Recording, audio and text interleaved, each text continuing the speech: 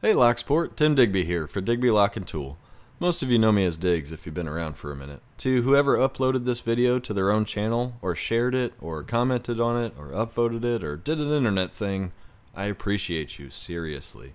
I'm terrible at advertising, and have been too focused on making locks to really tell anyone about it.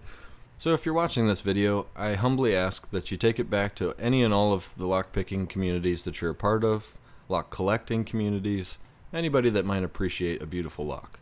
With all that being said, what you're looking at now is the prototype of my first model. I call it Alpha. This is a big brass beautiful homage to the days when lever locks ruled the world. This lock is 100% my own design, and I'll be making each of them myself.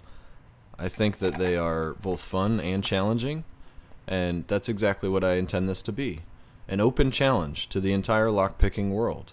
I want to see who can claim world first on this, and how they're going to do it. And as such, I'm offering prizes. First, every time I make a new lock model, you'll receive one for free. You'll receive a Digby Lock and Tool trophy made from brass and fine wood. You'll be entered into the Hall of Fame on the Digby Lock and Tool website and in the company records. And finally, if you participate in the belt system, you'll receive a cease and desist letter for fun and Dan points, not really for legal action. I've heard already in the pre-orders that many of you would love to have an alpha but simply can't afford it. So I added a new way to pay to my website. You can pay through ShopPay now and do four installments rather than pay for it outright.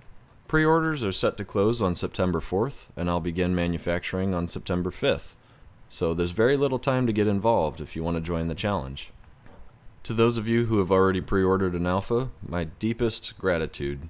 It really means a lot to me to see the faith you have in my ability to produce locks for the community, and I intend on honoring every bit of that.